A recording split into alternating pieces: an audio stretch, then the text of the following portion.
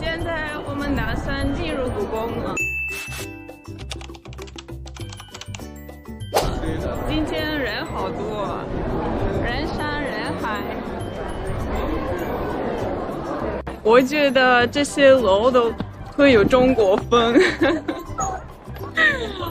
很好奇。我们在里面能看到什么？Anna, what do you know Look, about they're, it? what are they doing? Oh, they're, they're yeah. getting married or something. Yeah.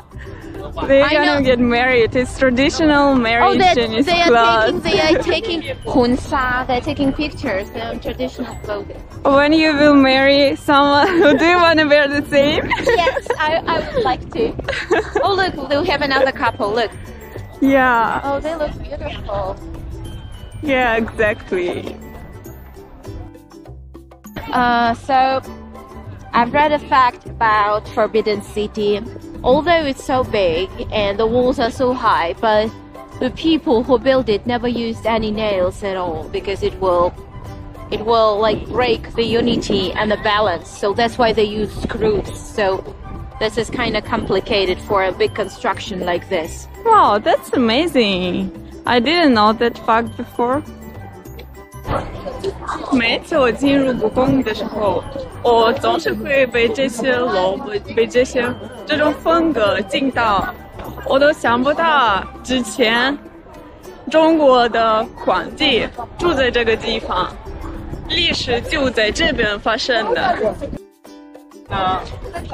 我很好奇，他们创造这个故宫的时候，他们建设故宫的时候，你是用了多长的时间？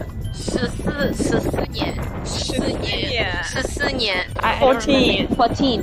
But they built it for fourteen years. Yeah. I see. I said no. It's really a lot. I'm like absolutely new here. And have you noticed colors? It's like red and yellow, just red and yellow. Yeah, I as I know, it's emperor's emperor's colors because uh, as we can see, red is special color in China. As I know, they use red on marriage, on buying a new flat, or born a baby. so it's special color for Chinese people. And gold, it's of course gold is like a sign of wealth, sign of And maybe luck, prosperity, I yeah, guess. yeah, yeah. It's like something luxury. Yeah. Huh. Look at this, guys. It's huge. so that's why. As I no Imperator, he lived exactly. here. So they put that ball of water just near the Emperor. Yes. This is the first time if there will be fire, Yeah, they will exactly. save him. Yes. That's awesome. but why do they touch this bit? It's hard because so many people touch it now. Yeah.